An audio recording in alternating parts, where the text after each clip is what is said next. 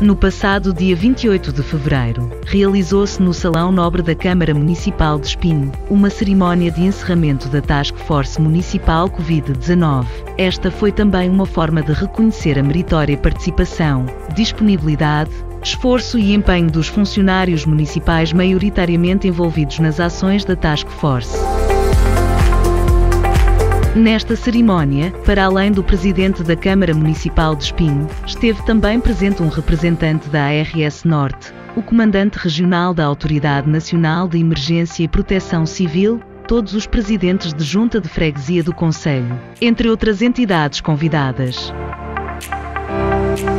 O presidente da Câmara Municipal de Espinho, Miguel Reis, realçou o extraordinário empenho e disponibilidade que demonstraram na Task Force do município de Espinho contra a Covid-19, pelo contributo inequívoco no combate à pandemia e pela dedicação muito além da obrigação profissional.